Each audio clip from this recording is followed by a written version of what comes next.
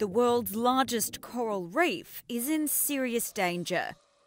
A UNESCO World Heritage Site, Australia's Great Barrier Reef has lost more than half its coral in the last three decades. And scientists fear the loss caused by frequent bleaching will compromise its ability to recover.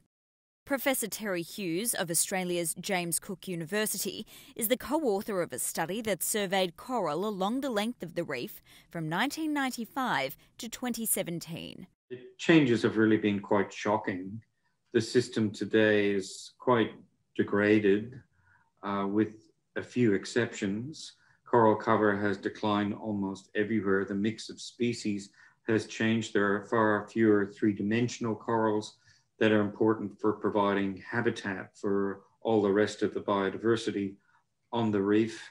Hughes says that the root cause of the problem is global warming and says swift action needs to be taken on a global scale to reduce greenhouse gas emissions.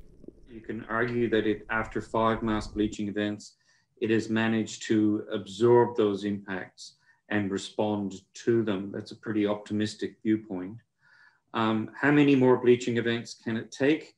We're not sure. The Great Barrier Reef runs over 1,400 miles down Australia's northeast coast, spanning an area half the size of Texas.